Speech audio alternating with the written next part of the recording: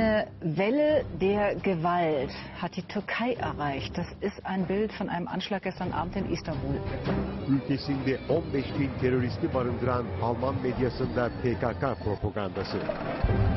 Auslöser für diesen Terror ist, dass die Türkei Stellungen der kurdischen PKK bombardiert hat. Und das bereitet religiösen Minderheiten wie Christen und Jesiden auch bei uns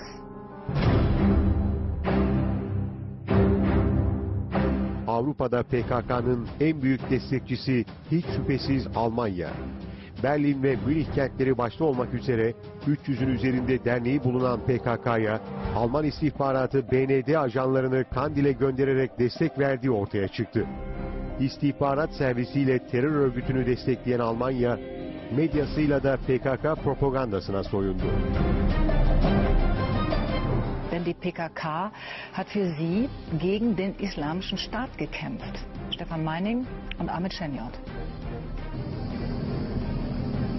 Auf Schotterpisten fährt unser Kamerateam hinauf in die Kandilberge im Nordirak.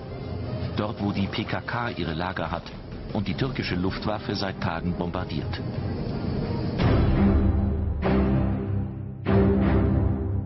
Bir televizyon kanalını Kandil'e gönderen Almanya, buradaki köylerde yaşayan sivillerin ve Suriye'den kaçan mültecilerin Türk savaş uçakları tarafından bombalandığı yalanını uydurdu.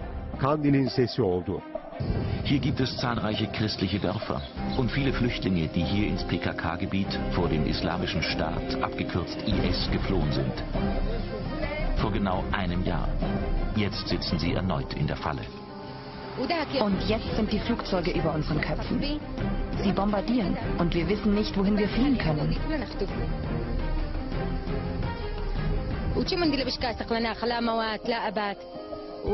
Wir möchten, dass ihr eine Lösung für uns findet.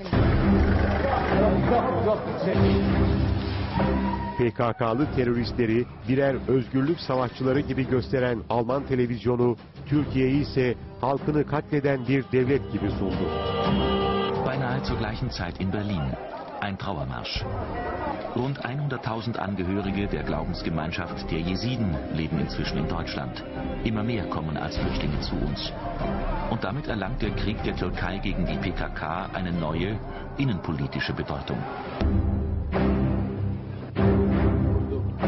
Alman televizyonuna göre DAEŞ'e karşı sadece PKK başarılı olabilir.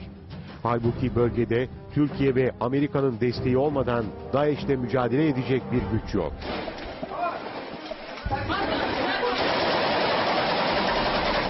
Dr. Kabat Kedir hat die Demonstration organisiert.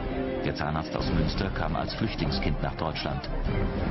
Für immer mehr deutsche Jesiden ist die PKK keine Terrororganisation, sondern vor allem eine Schutzmacht.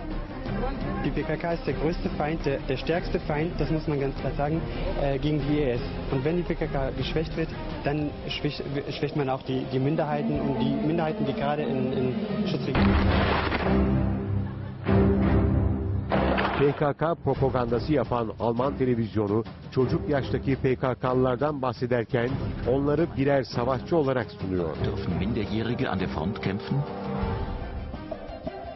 Fred Abrahams von der internationalen Menschenrechtsorganisation Human Rights Watch hat im kurdisch kontrollierten Teil Syriens vor Ort recherchiert und zahlreiche Fälle von Kindersoldaten dokumentiert.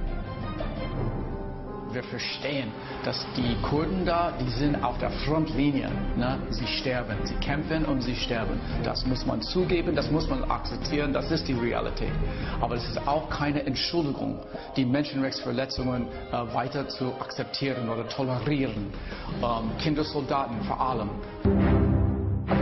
Adeta terör örgütünün kanalı gibi yayın yapan Alman kanalı PKK iyi dava için mücadele ediyor diyerek haddini aşıyor. Haben Christen, aber auch Jesiden in Syrien und Irak vor der Auslöschung bewahrt. PKK-nahe Einheiten schlagen als einzige den IS in Syrien am Boden zurück.